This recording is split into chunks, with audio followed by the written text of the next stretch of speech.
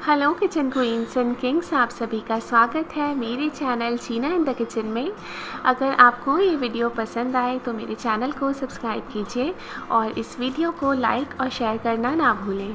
तो चलिए देखते हैं आज की रेसिपी मीठा मुझे और मेरे घर में सबको बहुत अच्छा लगता है। लेकिन क्या होता है कि दिवाली पे इतनी सारी मिठाइयाँ आती हैं और लास्ट में मतलब दो तीन दिन के बाद ना सारी वैरायटी की थोड़ी थोड़ी मिठाइयाँ बच जाती हैं। तो यहाँ पे आ, मेरे पास मूंग दाल की बर्फ़ी बच गई है। बहुत टेस्टी बर्फ़ी थी लेकिन अब इसको और खाने का मन नहीं कर रहा है। चार पाँच पीस इसके बच गए हैं थोड़ी सी काजू कतली बच गई है। बेसिकली अभी हम इनको यूज़ करके एक मिठाई बनाने वाले हैं। तो यहाँ पर मैंने ले ली है दो छोटे छोटे से ग्लासेस वॉडका शॉट्स अगर आपके घर में हो तो वो ले लीजिए। अदरवाइज़ कोई भी ग्लासेस ले लीजिए यहाँ पर। कटोरी में भी बना सकते हैं। तो चलिए फटाफट से इनकी एक, इनको नया रूप दे देते हैं मॉडिफाई कर देते हैं अपनी बची हुई लेफ़्ट ओवर दिवाली स्वीट्स को। तो आधी मूंग दाल की बर्फ़ी आधी आधी मैंने दोनों ग्लासेस में ऐसे डाल दी है हाथ से ही तोड़ करके। और इनको हम चम्मच से थोड़ा सा सेट कर देते हैं जैसे कि मतलब बेस बना देते हैं इसको, मिठाई को, हम अपनी जो मॉडिफाइड मिठाई होने वाली है, उसका बेस बना देते हैं। तो इसको चम्मच से थोड़ा सा इस तरह सेट कर रहे हैं। और इस रेसिपी के लिए आप कोई भी लेफ़्ट ओवर स्वीट्स यूज़ कर सकते हैं, जैसे कि काजू कतली, लड्डू टोडा बर्फ़ी या कोई भी इंडियन स्वीट्स जो आपके पास बची हुई हो घर में, वो आप इस यूज़ करके ये वाली रेसिपी ट्राई कर सकते हैं। सबके साथ इसका टेस्ट चला जाएगा। अच्छा लगता है, मुझे तो अच्छा लगता है, आप एक बार ट्राई ज़रूर करना।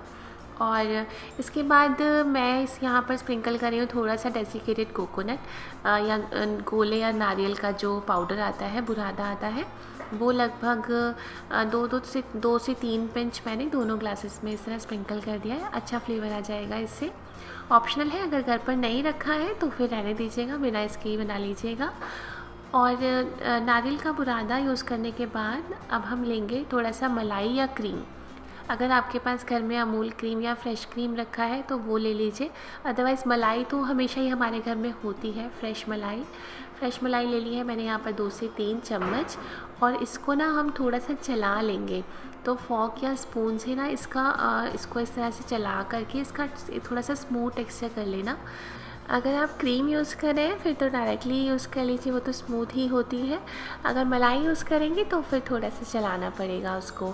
इतना भी नहीं चलाएँगे कि मलाई से मक्खन बन जाए, क्योंकि मलाई को ज़्यादा चलाने से तो उससे बटर बन जाता है। बस स्मूथ होने तक चला लेंगे। और उसके बाद हमने जो मिठाई रखी है ग्लासेस में, उसके ऊपर लगभग एक बड़ा चम्मच हमने इस तरह से मलाई फैला करके डाल दी है। और अब हम थोड़े से ड्राई फ्रूट्स यहाँ पर यूज़ करेंगे। ड्राई फ्रूट्स अपनी चॉइस के ले लीजिएगा आप कोई भी। आ, तो यहाँ पर मैंने तो थोड़े से बादाम को इस तरह से क्रश कर लिया है। या फिर आप छोटा छोटा कट कर लें। बादाम पिस्ता काजू कुछ भी ले सकते हैं। और साथ ही में किशमिश ले लीजिए या फिर, ये मैंने यहाँ पर ड्राइड चेरीज़ ली हैं। अगर ड्राइड चेरीज़ नहीं है तो आप किशमिश ले लेना। तो वो भी बहुत अच्छी लगती है। चार से पाँच किशमिश या ड्राइड चेरीज़ हम दोनों ग्लासेस में डाल देंगे बादाम डालने के बाद।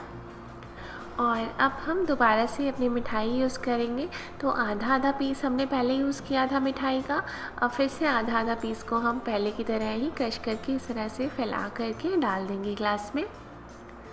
मोतीचूर के लड्डू के साथ भी बहुत अच्छी बनती है ये वाली डेज़र्ट तो अगर कभी लड्डू बच जाए तो फिर तब आप ज़रूर ट्राई करना इसको. और इसके बाद हम दोबारा से एक एक चम्मच मलाई को या क्रीम को फैला करके डाल देंगे.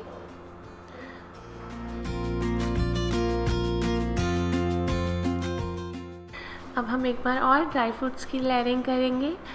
बादाम चेरीज या फिर जो भी आप यूज़ कर रहे हैं और थोड़ा सा जो हमारी मिठाई का पीस है, हल्का हल्का सा वो ऐसे स्प्रिंकल कर देंगे। जैसे कि ऊपर से दिखे तो सही कि किस चीज़ से मिठाई बनी है ये नई वाली। और बस हमारी ये जो नई डेज़र्ट है मॉडिफाइड डेज़र्ट है लेफ़्ट ओवर स्वीट्स के साथ बिल्कुल रेडी हो जाएगी। तो इनको बनाना भी बहुत इंटरेस्टिंग है। बच्चों से बनवाइएगा अपने घर के, बच्चों को इसको बनाने में भी मज़ा आएगा। और अपने हाथ से बनाएँगे ना तो वो ज़रूर खाएँगे और उनको टेस्टी भी लगेगा। तो कैसी लगी आपको ये आज की रेसिपी और हाँ इसको बनाने के बाद ना आप पाँच से दस मिनट के लिए फ्रिज में रख देना और फिर ठंडी ठंडी ट्राई करना। बहुत टेस्टी लगेगी। आ, मैंने तो इस तरह से बहुत बार बनाई है और हमारे घर में उसके बाद जो लेफ़्ट ओवर स्वीट्स जो कोई नहीं खा रहा होता वो एकदम छट हो जाती हैं। तो आप ट्राई करना मुझे कमेंट सेक्शन में बताना आपको ये रेसिपी कैसी लगी। ऐसी और इजी टेस्टी क्विक रेसिपीज़ के लिए आप मेरे channel Cheena in the kitchen को विज़िट कर सकते हैं। वहाँ आपको और भी बहुत सारी इंटरेस्टिंग नई अमेजिंग रेसिपीज़ मिलेंगी। और अगर चैनल पर नए हैं तो सब्सक्राइब कर लीजिए, बेल आइकन को भी दबा दीजिए, जिससे कि आपके पास मेरी हर नई वीडियो का नोटिफिकेशन या मैसेज पहुँच सके। तो चलिए, अभी के लिए इतना ही। मैं इंजॉय करती हूँ ये अपनी मीठी मीठी, बढ़िया बढ़िया सी रेजर और हम फिर से मिलेंगे चीना इंडा किचन में एक नई रेसिपी एक नई वीडियो के साथ।